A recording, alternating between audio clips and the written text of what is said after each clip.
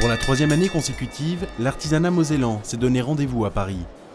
La nouvelle édition du salon Made in France, grand rendez-vous entre professionnels et consommateurs, accueille sept entreprises mosellanes réunies autour du label Produit Moselle Passion. Alors le label Moselle Passion a été créé il y a plusieurs années maintenant, une collaboration euh, très fructueuse entre la Chambre des métiers et le département. C'est la qualité au service du, euh, au service du consommateur et c'est vraiment euh, la démonstration de l'excellence de ce que nous savons faire de, de bon, de beau en Moselle. À peine ouverts, les stands attirent déjà les premiers curieux mais aussi les premiers gourmands.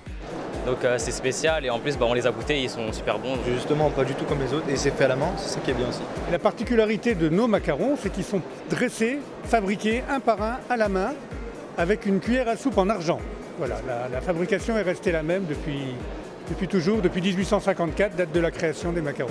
La visibilité du stand mosellan au cœur de la capitale est loin d'être négligeable pour les artisans. C'est toujours très très intéressant de se faire connaître euh, grâce au département de la Moselle, euh, euh, bien sûr aussi à la Chambre des métiers.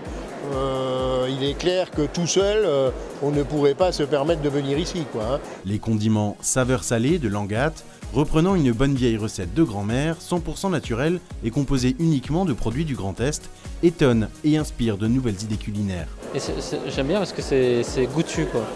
Là j'ai goûté là, les, tomates cerises ils ont mis un peu de, dessus et tout. Moi j'ai bien aimé et j'ai vu qu'on pouvait aussi mettre dans, dans une omelette. C'est ce que je vais faire. Produits en cuir, alcool, montres, bijoux, macarons, condiments, savons ou encore chocolat. À six semaines de Noël, la Moselle dévoile une belle partie de ses atouts, porte de Versailles à Paris, jusque dimanche prochain.